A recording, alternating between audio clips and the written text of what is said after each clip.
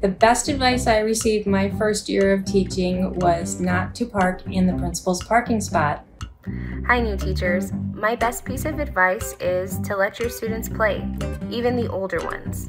Get a coffee cup with a lid. The walk from the coffee pot to your desk can be treacherous. Go to the lounge every day if it fills you with goodness. But avoid the lounge if it's a breeding ground for negativity. Education is an active profession. Invest in a comfortable pair of shoes. You'll thank me later. You will probably find that the students are better behaved when you remember to eat your lunch. Take care of yourself.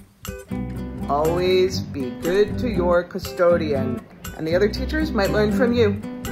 A new teacher, yay! Have a wonderful first year.